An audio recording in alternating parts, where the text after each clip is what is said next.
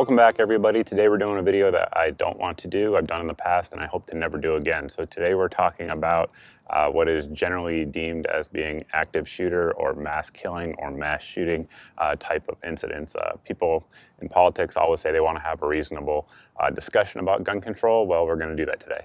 Um, there's a bunch of stuff to get into. Obviously, you're opening a huge uh, Pandora's box getting into this subject because it's very nuanced and uh, very complex at the same time. So one thing I want to go over first is uh, mental health issues, right? Um, so that is at least a factor in almost all of these shootings. Simply put, a sane person would not kill innocent people on a large scale. That's simply um, insane. It's not something that a rational, sane person would ever do.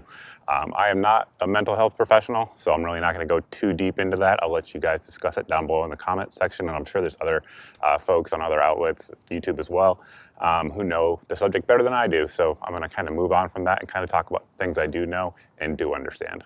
If you do any research into this topic, you're going to see numbers that are just all over the place in terms of active shooters, mass killings, casualty numbers, uh, law enforcement involved uh, incidents, all of that stuff. We're going to get into some more details here in just a second. But I want to say that um, a lot of that data that you're going to see, are articles that are published, are politically influenced one way or the other, left or right, uh, pro or against gun control. And I tried to sort of pick a source of data that was as neutral as possible, I suppose, and that can be debated as well.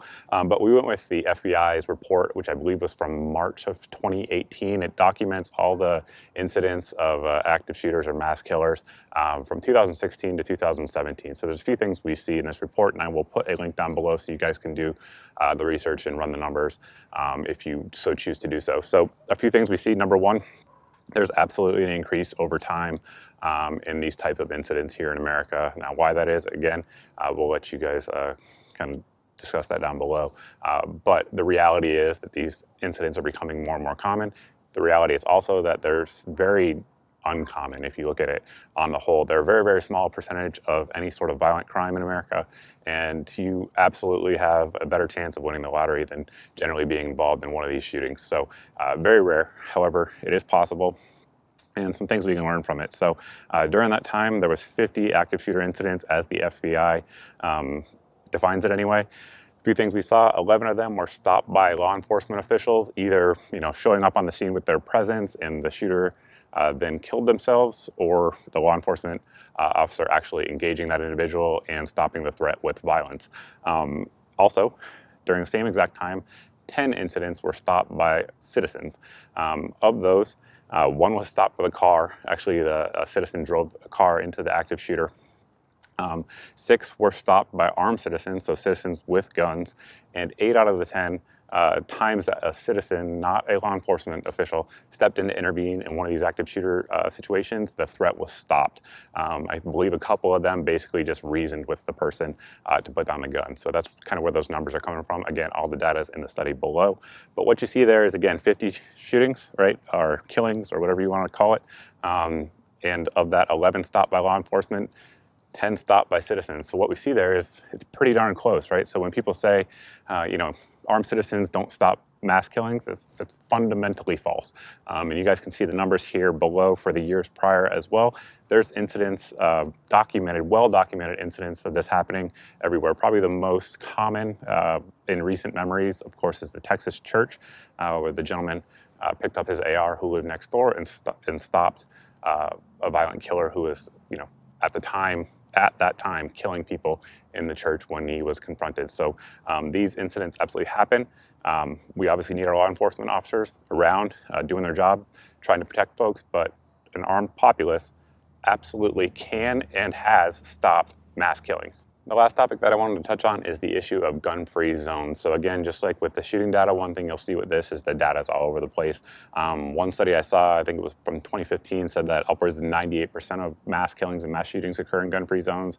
On the low end, I saw one that said 16%. It seemed to be have good data behind it. However, I want to point out that on the low end, pretty much every study that errors below 50% in terms of where these shootings occur, whether they be in gun-free zones or not, they count uh, areas with armed law enforcement as not being gun-free zones. So for instance, uh, they counted the, the incidences at Fort Hood and the uh, killing at the Naval Station as well as being uh, not gun-free zones because there's armed law enforcement there, if that makes any sense. So it doesn't make a lot of sense to me. The way I define gun free zones is that gun free zones are the places that armed citizens are not allowed legally to carry firearms and defend themselves with firearms, again, under the laws of that jurisdiction, whether they be federal laws, state laws, combination of the two. So that is a gun-free zone as I design it, as I uh, define it rather.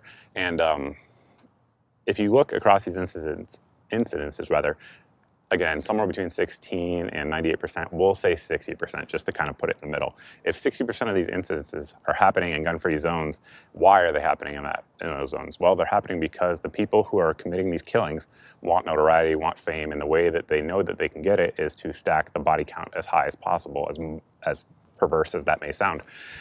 So, what makes more sense than to pick somewhere where you think reasonably people will be unarmed and will not be able to fight back? I mean, it's it's it's common sense, right? These, these, these killers may be crazy, but they're not stupid. The majority of them are not anyway. Um, so they're selecting these locations where they know or believe there's a low possibility of resistance, at least initially. They know law enforcement's always going to come, right? Law enforcement always comes, when seconds count, law enforcement's minutes away. In these mass ki killings, those minutes equate to body count, unfortunately. So um, I've never seen a gun-free zone make people safer. Again, when you study the data, I didn't see a single report that said gun-free zones made people safer. I saw some that said that there was no difference in gun-free zones versus non-gun-free zones, and then I saw a bunch that said gun-free zones made people less safe. And just the common sense of that rings true to me.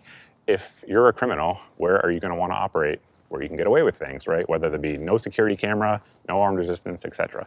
Um, so gun-free zones, zero data that I've found, and I've done you know honest research on this saying that they make anybody safer. All they do is make politicians feel better and the actual people that have to be in those situations less safe. Now, on that note, let's talk about that. So, if there's a politician who truly believed that gun free zones made people safer, why have none of the governors in the states, none of the presidents, none of the senators, et cetera, why have, haven't any of them given up their armed security? Not one. Literally, not one in 2018 has ever done that. Now, I challenge all of them who, who you know, champion these gun-free zones. Please turn your own environment into a gun-free zone.